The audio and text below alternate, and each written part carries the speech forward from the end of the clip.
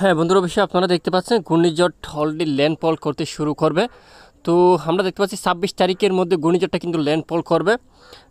ঠিক উপকূলের কাছাকাছি কিন্তু সলে এসে গেছে ঘূর্ণিঝড়টা। ঘূর্ণিঝড়টা বালুচরে সেটা খড়গপুর, এছাড়া জামশেদপুর এই অঞ্চল দিয়ে কিন্তু আসতে পড়বে। এছাড়া কলকাতা সাইটিপেট কিন্তু, বাড়ি পেট কিন্তু রয়েছে। কলকাতা, এছাড়া খড়গপুর, হালদিয়া, বালুচরা এই অঞ্চল দিয়া। তো ঘূর্ণিঝড়ের সাইটিপেট কিন্তু আরও রয়েছে, খালাপাড়া, বরিশাল খুলনা এই অঞ্চলে। আমরা দেখতে পাচ্ছি পঁচিশ তারিখ রাতে অলরেডি ভারী বৃষ্টি। ভারী বৃষ্টি কোন কোন অঞ্চলে আমরা দেখতে পাচ্ছি? দেশের দক্ষিণাঞ্চলে এখনও পর্যন্ত ভারী বৃষ্টি তৈরি হতে পারতেছে না, কারণ প্রচণ্ড বায়ুর কারণে। তো কক্সবাজার মহেশখালী বা টেকনাফ চকেরে কক্সবাজার, এখানে এখনও পর্যন্ত ভারী বৃষ্টি কিন্তু তৈরি হতে পারেনি আজ। এবং বাংলাদেশের দক্ষিণাঞ্চলে আরও আমরা দেখতে পাচ্ছি, বরিশাল, খুলনা, এই অঞ্চলে কিন্তু তেমন ভারী বৃষ্টি কিন্তু তৈরি হতে পারতেছে না এবং কিছু কিছু অঞ্চলে আংশিক হালকা গুড়ি গুড়ি বৃষ্টি কিন্তু হচ্ছে। তবে আমরা দেখতে পাচ্ছি দেশের উত্তরাঞ্চলে ভারী বৃষ্টি ঘটাতে। অবশ্যই আপনারা বুঝতে পারবেন, আমরা আপনাদেরকে একদম সঠিক, একদম সঠিকভাবে আপনাদেরকে জানাচ্ছি। ময়মনসিংহ বিভাগে ভারী বৃষ্টি ঘটানোর অলরেডি পরিস্থিতি কিন্তু আমরা দেখতে পেয়েছি। হয়েছে কিনা সেটা আপনারা আমাদেরকে জানাবেন।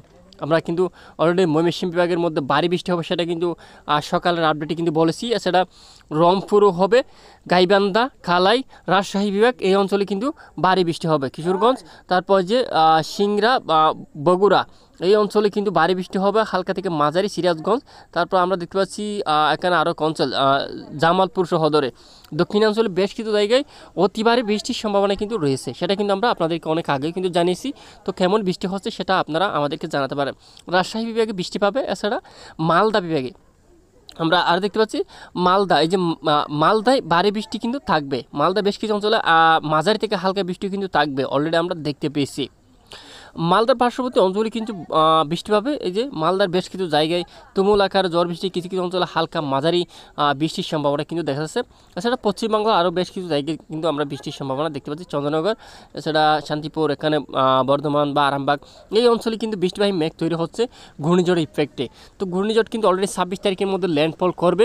তো কতটা শক্তি ঘূর্ণিঝড় আমরা দেখতে পাচ্ছি, এই মুহূর্তে ঘূর্ণিঝড়ের শক্তি প্রায় দেড়শো কিলোমিটার পর্যন্ত যাচ্ছে ঘূর্ণিঝড় সদি এই যে বায়ুজাপটা আমরা দেখতে পাচ্ছি উইন গাস্ট প্রায় দেড়শো কিলোমিটার পর্যন্ত হচ্ছে ঘন্টায়। তো সাইড ইফেক্ট যদি আমরা দেখি, তাহলে সাইড ইফেক্ট অলরেডি আপনারা দেখতে পাচ্ছেন পূর্ব দিকে, এই যে মহেশখালী কক্সবাজার একশো পঞ্চাশ, প্রায় পঞ্চাশ থেকে পঁচপান্ন, ষাট কিলোমিটার ষাট কিলোমিটার পর্যন্ত বায়ু কিন্তু অলরেডি উইন গাস্ট কিন্তু হচ্ছে। চট্টগ্রাম, এছাড়া বরিশাল, এখানেও কিন্তু প্রায় ষাট থেকে সত্তর কিলোমিটার উইন গাস্ট হবে। খুলনায় কিন্তু দেখা যাচ্ছে প্রচণ্ড কিন্তু বায়ুজাপটা বয়ে যাবে। আহ, দমকা দমকা কিন্তু বাতাস কিন্তু থাকবে সেটা কিন্তু অলরেডি আপনারা কিন্তু বুঝতে পারবেন।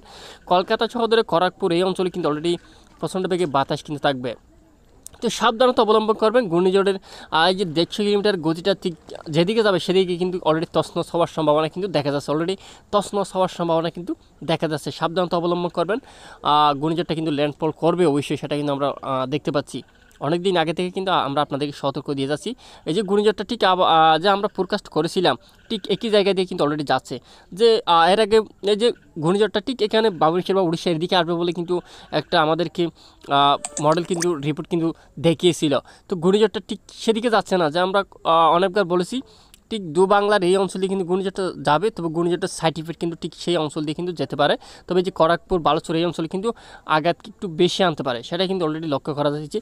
ঘূর্ণিঝড় সাইড ইফেক্ট কোন দিকে যাচ্ছে আপনারা দেখতে পাচ্ছেন? ঘূর্ণিঝড় কিন্তু আরও গতিবেগ বাড়ি গতিবেগ কিন্তু এই যে, আমরা দেখাই আপনাদেরকে, অতি ভারী গতিবেগ নিয়ে কিন্তু ঘূর্ণিঝড়টা ঠিক সাইড ইফেক্ট এই যে এই যে ভারী বৃষ্টি যে ভারী গতিবেগটা থাকবে ঠিক একই এই যে একই জায়গায় খড়গপুর বা কলকাতা এই যে দক্ষিণ চব্বিশ পরগনা এলাকা, এখানে যেসব অঞ্চল রয়েছে ঠিক সেই সব অঞ্চলের মধ্যে ঘূর্ণিঝড়ের ভারী ইফেক্টটা কিন্তু পড়বে। বায়ের গতিবেগ অবশ্যই আপনারা দেখতে পাচ্ছেন, তবে সিলেট বিভাগের মধ্যে তেমন বায়ের গতিবেগ থাকবে না, সেটা কিন্তু অলরেডি লক্ষ্য করা যাচ্ছে। সাইড ইফেক্টের কারণে ঝড় বৃষ্টির সম্ভাবনা কিন্তু তৈরি হতে পারে রামপুর শহরে। দেশের দক্ষিণাঞ্চলের দেশের উত্তরাঞ্চলের বেশ কিছু জায়গায়। এবং ছাব্বিশ তারিখের মধ্যে দেশের দক্ষিণাঞ্চলে কিন্তু ঝড় বৃষ্টির সম্ভাবনা কিন্তু অনেকটা দেখতে পাচ্ছি। আমরা পরবর্তীতে আপনাদেরকে আবারও আপডেট দেবো, তো সবাই সাবধান থাকবেন।